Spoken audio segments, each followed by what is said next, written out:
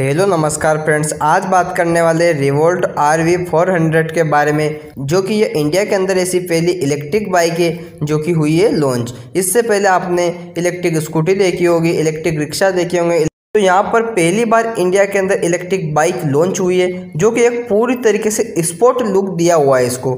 इसके बारे में आपको आज ऑल स्पेसिफिकेशन बताऊँगा, क्या रहेगी इसकी प्राइस इसमें आपको कौन सी बैटरी देखने को मिलेगी, एक बार जब चार्जिंग हो जाएगी तो कितने किलोमीटर तक सफ़र तय करेगी।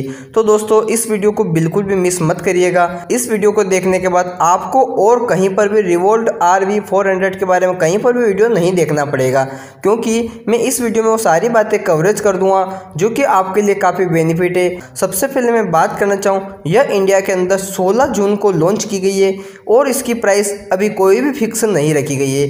अभी यह ऑनलाइन बुकिंग चालू है। इसका बुकिंग का चार्ज रखा गया है एक हज़ार रुपया। तो दोस्तों, यदि आपको भी बुकिंग करवानी हो तो एक हज़ार रुपया में बुकिंग अभी हो जाएगी। और दोस्तों, बात करना चाहूँ इस गाड़ी के अंदर एक स्पेशल फीचर की, जिसका नाम है माई रिवोल्ट एप्स या कहूँ यह एक एप्लीकेशन है, जो कि अपने मोबाइल में चलती है। और इस एप्लीकेशन के अंदर अपनी जो बाइक होती है, वो पूरी कंट्रोल होती है। आप मोबाइल से ही गाड़ी को स्टार्ट कर पाएँगे। आप मोबाइल से यह भी चेक कर पाएँगे कि अभी आपकी गाड़ी कहाँ पर चल रही है। यह बहुत ही अच्छा फीचर मुझे इसका लगा है। बात करना चाहूँ रेंज की, या कहूँ एक बार जब ये चार्जिंग हो जाएगी तो कितने किलोमीटर तक का सफ़र तय करेगी? तो दोस्तों, यह 150 या कहूँ 150 किलोमीटर तक का रफ्तार तय करेगी, जो कि मेरे हिसाब से बहुत ही लाजवाब है। बात करना चाहूँ डिस्प्ले की तो दोस्तों, इसमें आपको एक डिजिटल डिस्प्ले देखने को मिलेगी। या कहूँ फ्रंट एंड बैक में आपको एलईडी लाइट देखने को मिलेगी, जो कि आपकी गाड़ी को एक स्पोर्टी लुक बनाने में काफ़ी मददगार होती है। कहना चाहूँ, गाड़ी के साउंड के बारे में। तो दोस्तों, वैसे ऑलरेडी इलेक्ट्रिक कोई भी साधन, कोई भी आवाज़ नहीं करता है, या कोई भी साउंड नहीं करता है। इस तरीके से कंपनी ने इसमें एक बदलाव और किया है। इसमें तीन से चार तरह का साउंड लगाया है, जो कि यह फीचर भी बहुत खास है।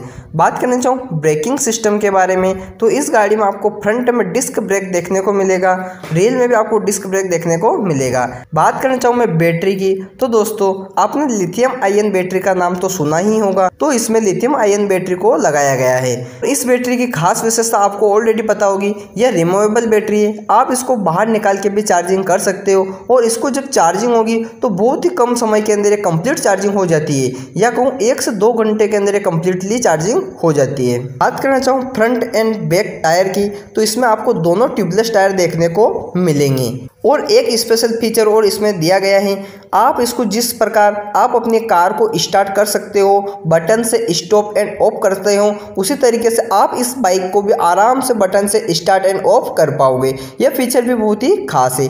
तो फ्रेंड्स ये थे इसके कुछ खास खास स्पेसिफिकेशन जैसे ही ये गाड़ी मार्केट में आएगी, मैं इसका एक वीडियो और आपको बना के बता दूँगा। वीडियो अच्छा लगने पर लाइक कमेंट और सब्सक्राइब करना बिल्कुल भी मत भूलिएगा।